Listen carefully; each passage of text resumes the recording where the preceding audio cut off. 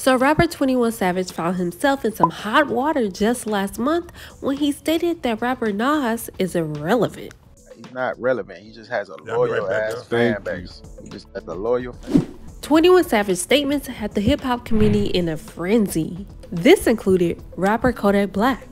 Man, man, Nas that nigga, homie. I know I can't, I know I can't be what I wanna be. If I work hard at it, if I work hard at it, I be what I wanna be. You crazy, boy. The fuck Nas that boy. Nas invested in, Nas invested in motherfucking um ring. You know what ring is, homie? The dough along fucking Comedian and actor Michael Rapaport also chimed in and weighed in heavy on 21 Savage. It, it shows in your work, 21 Savage. And I'm glad you're making money. I'm glad you're able to take care of everybody.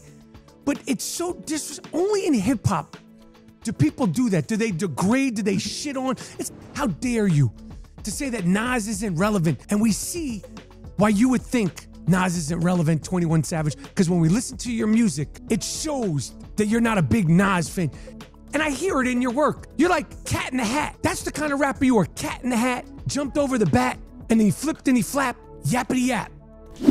21 Savage clearly was feeling all the heat that he was receiving because he decided to dial it back when he tweeted out, I will never disrespect Nas or any legend who paved the way for me. Y'all be trying to take stuff and run with it.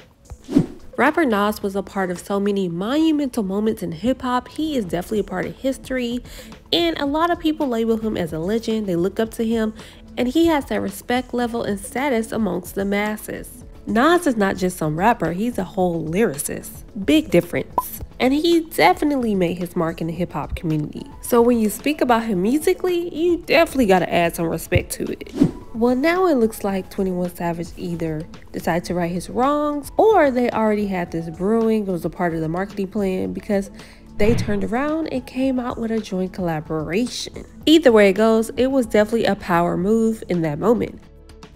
This led to hip hop artist Coi Leray to tweet out, Y'all see what Nas did? Now that's how the F you do it.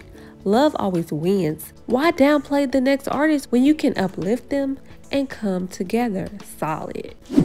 So there's been an ongoing rumor that rapper Latto has been dating rapper 21 Savage. Now this rumors all started back in 2020 at the end of that year when photos surfaced online of Latto and rapper 21 Savage seemingly being in the same location out of the country.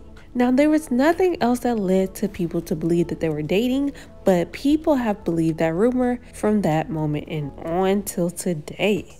Now, rapper Latto expressed that she's in a relationship. She claims that she is all about her man, her man, her man, but she has yet to reveal who this man is. Although the two have denied dating each other, people still believe them to be dating. Well, rapper 21 Savage just recently spoke out about this and claimed that he's not dating any celebrity woman.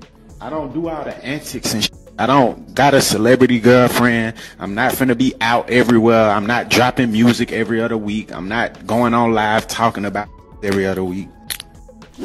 It was three years ago that news broke that 21 Savage actually was a British citizen and he was detained by immigration because of that.